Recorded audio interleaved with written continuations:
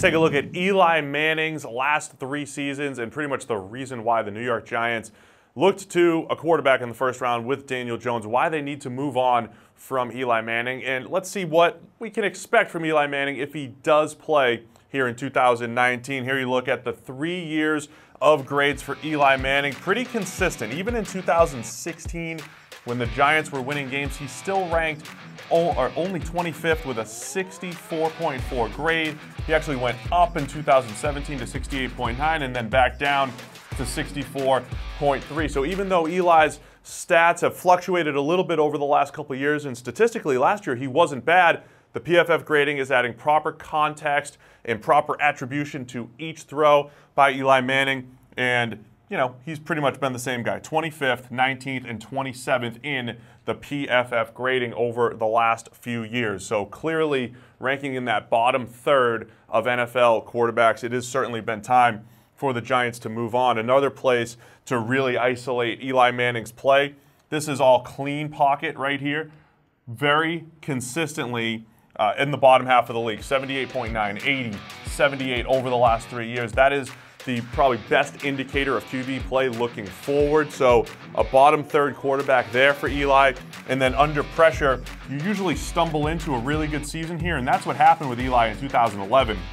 2011, out of nowhere, in that Super Bowl winning year, Eli Manning was incredible under pressure, and he faced the most pressure out of any quarterback in the NFL. It's one of the most uh, you know, incredible seasons of all time given what he did in that situation. But we see 31st, 22nd, and 28th in PFF grading under pressure over these last couple years. So as he's aged, he's not handled pressure well, but even when in a clean pocket, Eli's still sitting in that bottom third of NFL quarterbacks. And here's the other place where we see some concerning trends. The big time throw percentage, dating back back to that 2011 and 12 season, Eli Manning was one of the better quarterbacks in the NFL, and he could drive the ball down the field, make those special throws down the field. We see his big time throw percentage, though, very consistent 3.4, 3.3, and 3.8, all ranking in the 20s the last couple years.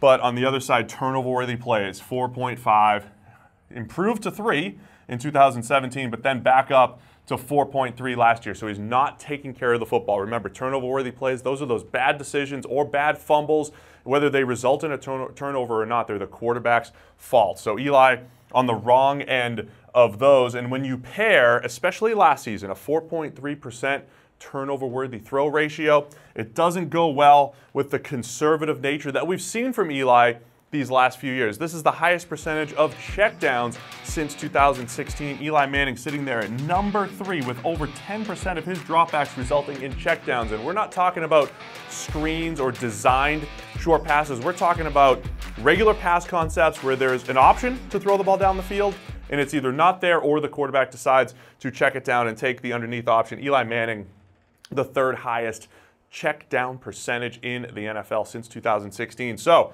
we go back here. He's putting the ball in harm's way, also throwing a little bit on the more conservative end when it comes to checkdowns. If Eli Manning is going to have any kind of rejuvenation in 2019, I think he's got to be a little bit more aggressive, try to up this big time throw percentage, and just get that one last hurrah before this becomes a Daniel Jones team in New York. This is why Eli Manning has pretty much had to be replaced over these last few seasons.